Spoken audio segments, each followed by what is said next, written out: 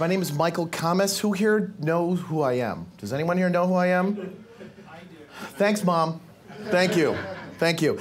Um, I do two things. Uh, during the day, uh, I have a mild-mannered job as Director of Technology for Keycode Media, and at night they let me wear a cape and do a web series called Five Things. Has anyone here heard of Five Things?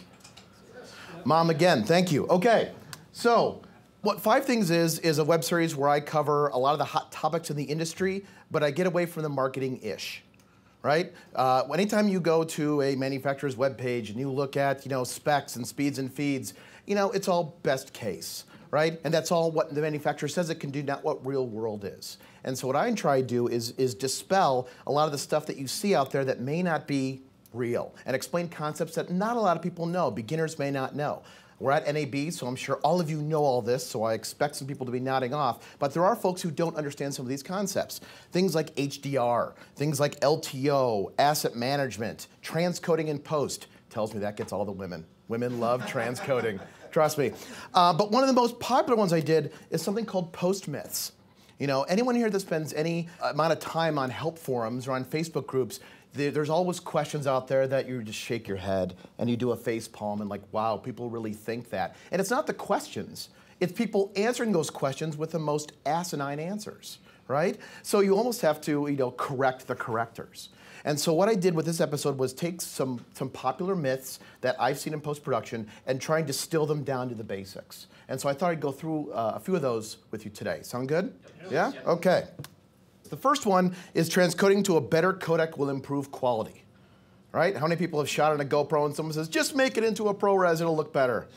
okay, we'll cover that. Uh, log formats are the same as HDR, right? Uh, next is you can grade video on a computer monitor uh, I've actually seen fights break out when I've uh, presented this before between computer and video people. It's pretty interesting, nerd fight. You can fix audio distortion. As an audio guy, this is one of my favorite things to talk about. Um, storage is the same as capacity or marketing versus engineering. Uh, and then if we have time, I have two more to go over, and that's that uh, you need to create a YouTube format if you want to upload to YouTube. And the last one is picture or audio changes require a new export. Like if you mess something up in your timeline, you have to re-export the entire thing. That's not exactly the case. So let's get started.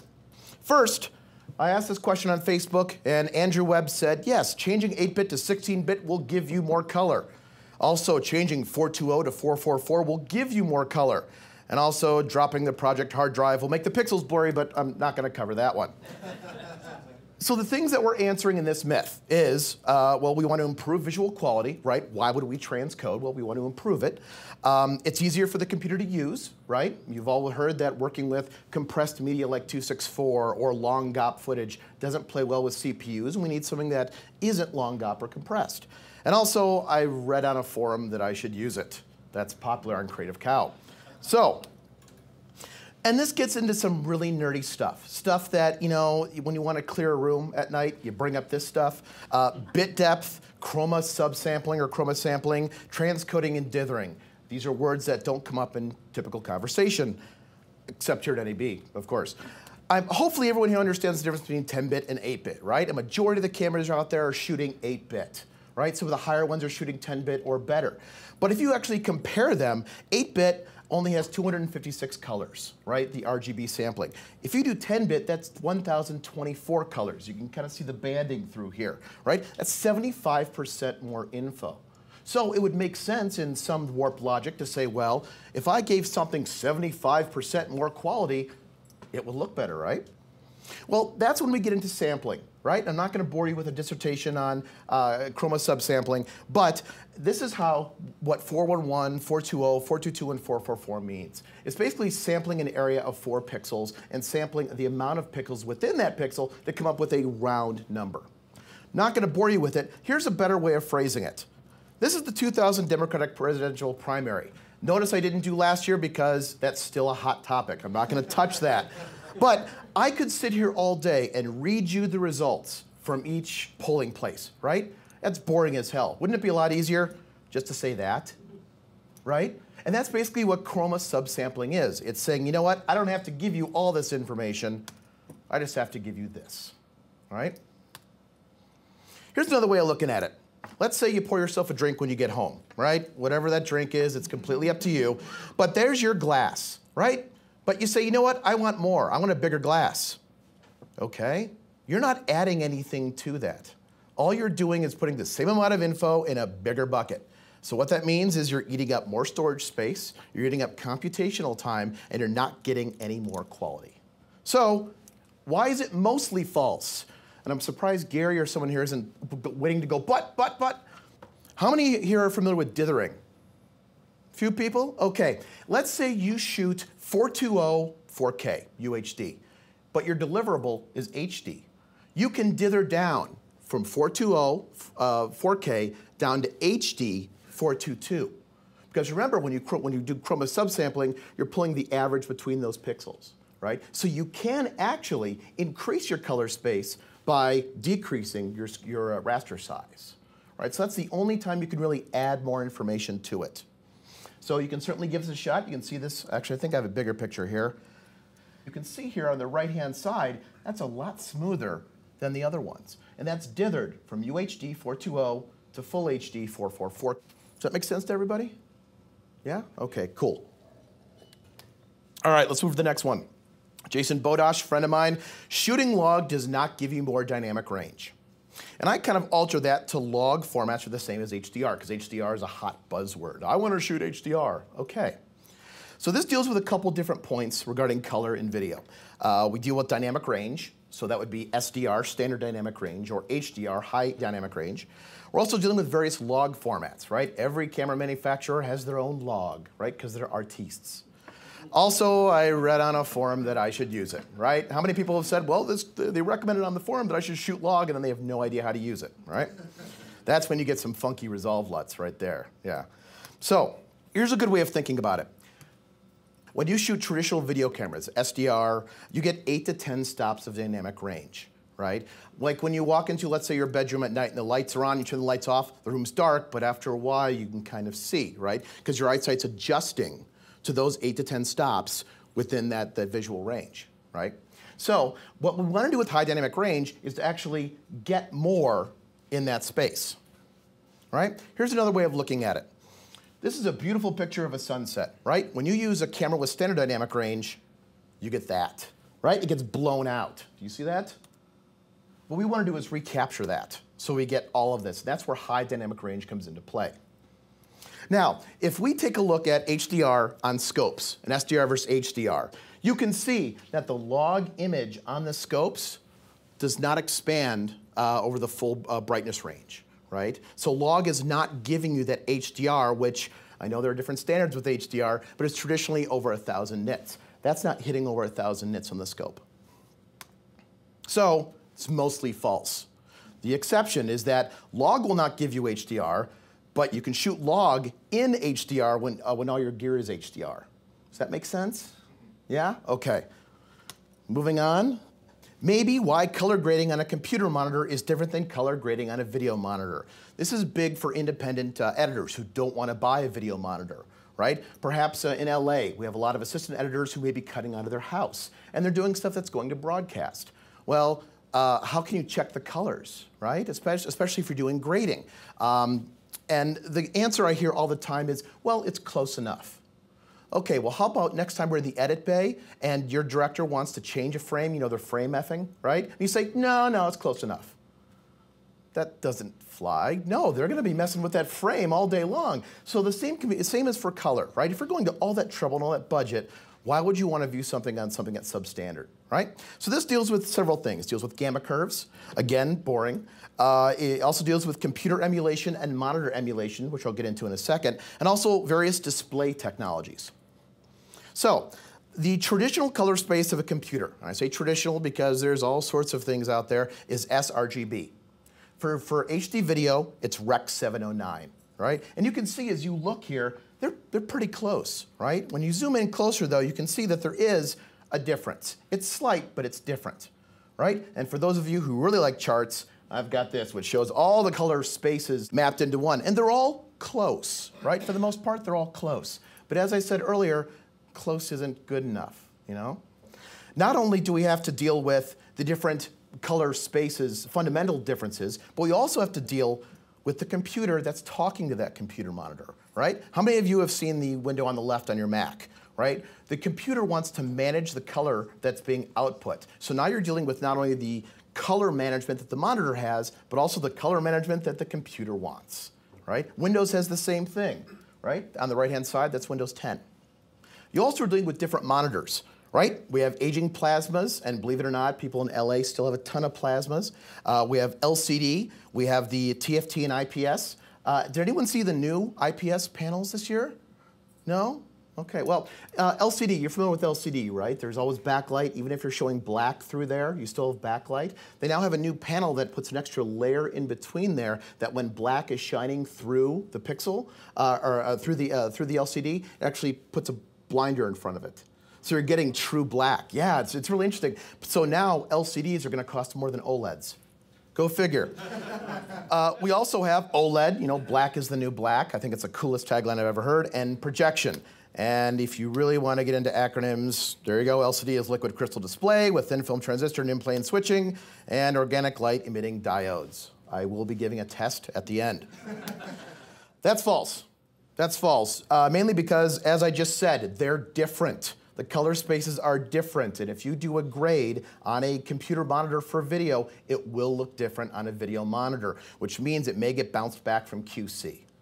No one wants to get bounced back from QC. So next up, we have my favorite one because actually before I decided to get into the zeros and ones, I was a creative. I was a post-audio guy. And this is a popular one. I, can, I come from Chicago, and a lot of films were shot near the L tracks. If you've ever spent any time near the L tracks, they're loud. And invariably, the director will call action right when an L is passing by, so the dialogue gets all destroyed right? So when we talk about audio, Adam Bedford brought this up. Audio modulation, you can't fix distortion. I think he meant audio overmodulation, but we won't split hairs. This deals with several things. Repair tools, like you'll find in your NLE or plugins. It deals with the black art of post-audio. I still like to think that that's kind of a black art to some people. And also, I can't afford reshoots or ADR. Or I just don't want to deal with the stress of reshoots or ADR. So I'm going to go back to this analogy again. Just like with video, with audio, this is the audible spectrum. But quite often you're using microphones that can only capture this much, right? So the signal gets blown out. Here's a good example. There's where you hear it in the wild, but when you capture it with a poor microphone, you're only getting this much, right? So everything above and below in terms of amplitude is lost. You can't recover that.